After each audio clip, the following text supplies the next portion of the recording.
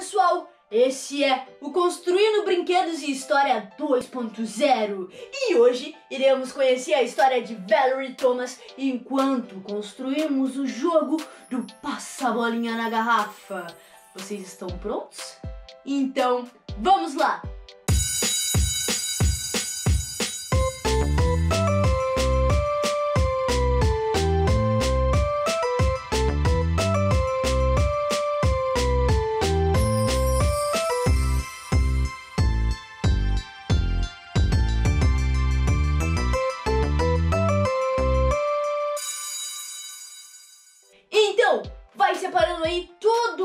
Material que a gente vai precisar.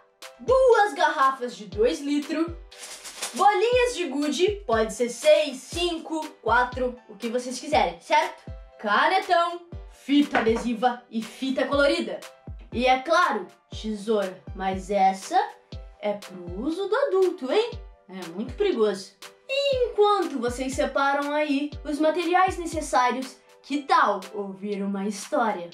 Uma cientista que transformou o mundo e tornou as vidas no cinema mais divertidas. Seu nome era Valerie Thomas. Nascida em 8 de fevereiro de 1943, Valerie foi uma criança completamente apaixonada pela ciência. Essa paixão teve início quando ela estava lá, paradinha olhando seu pai mexer na televisão de todas as formas, tentando consertar aquele aparelho. E ela ficava se perguntando: O que, que ele tá tentando fazer? Mas o brilho no olho dela só crescia e só crescia, e as dúvidas. E ali ela descobriu que ela queria fazer aquilo também, que ela queria saber consertar as coisas.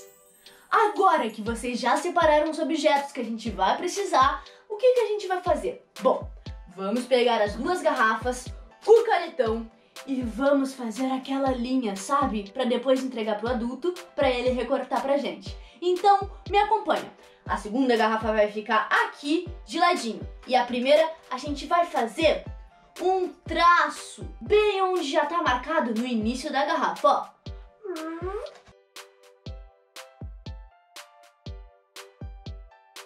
Pronto, uma linha já está feita. Agora a gente vira a garrafa e faz uma outra linha. Ah, na verdade já tem as linhas ali na garrafa, né pessoal? Mas a gente vai deixar mais marcado pro adulto. E a gente faz a linha de novo. Pronto! A primeira garrafa está prontinha, já entrega pro adulto e deixa ele recortando. Já na última garrafa, a gente vai pegar ela e na última linha a gente vai desenhar aqui, ó, deixar bem marcadinho pro adulto não se perder e recortar ali mesmo. Pronto! Agora entrega esse aqui produto também e deixa ele recortar, hein? Então, voltando à história, com a paixão acesa em seu coração, ela começou a buscar em todos os lugares por informações e conhecimento. E aí, ela descobriu o livro Eletrônica para Meninos. É, para meninos, pessoal.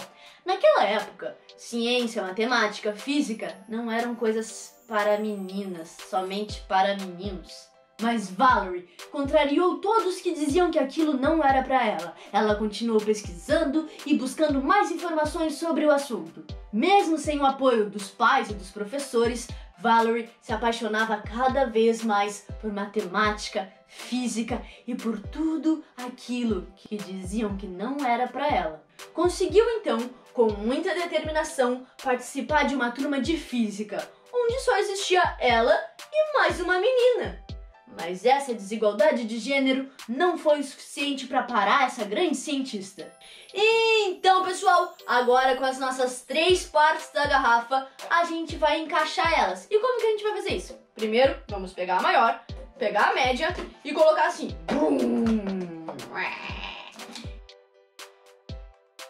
E aí, vamos pegar um pedaço de fita e colocar aqui para deixar bem presinho, tá bom?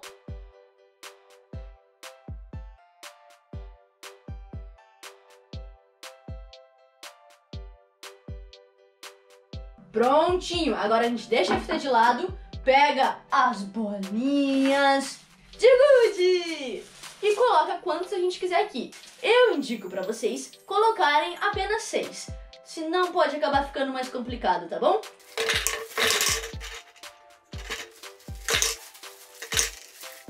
E agora, com a nossa última parte, a gente vai montar passar a fita adesiva em volta. Então, me acompanhe.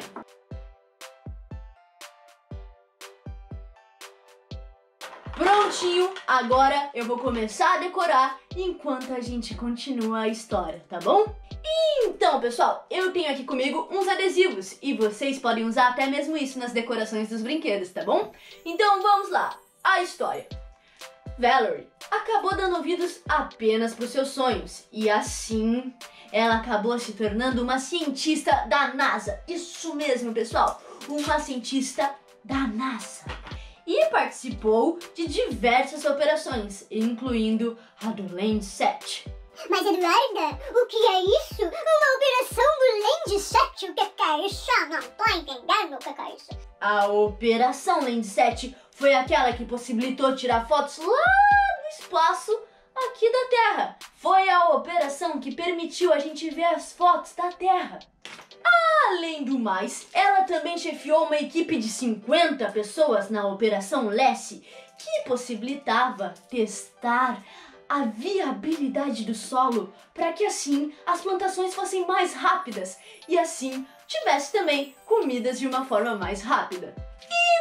Fim, mas não menos importante, ela também estudou os espelhos côncavos e assim criou a tecnologia 3D. Isso, pessoal, ajuda em muitas outras coisas, mas também nos ajuda a ver filmes de uma forma muito mais interessante, não é mesmo?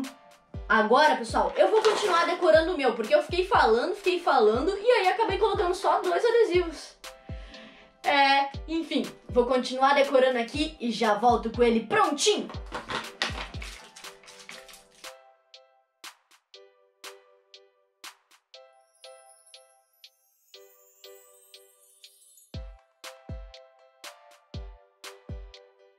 Ó, pessoal, então, no meio do caminho eu mudei de ideia e decorei o meu brinquedo só com fita adesiva.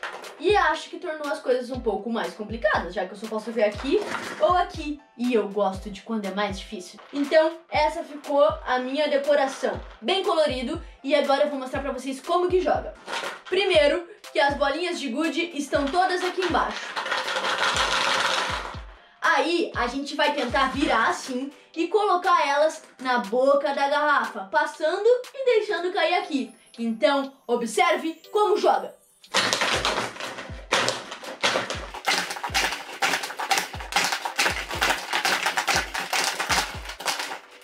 É, pessoal, eu acho que eu sou meio ruim nesse jogo porque eu só consegui botar três. Ainda tem mais três lá em cima. Bom, mas jogar é com vocês, não é mesmo? então, pessoal, Hoje conhecemos Valerie Thomas, a cientista que nos inspira a seguir os nossos sonhos todos os dias. E também construímos esse brinquedo hiper legal, que talvez a mãe não goste muito por causa do barulho. Mas acontece, não é mesmo? Esse é o Construindo Brinquedos de História 2.0. Eu sou Eduarda Urix e nós nos encontramos no próximo vídeo.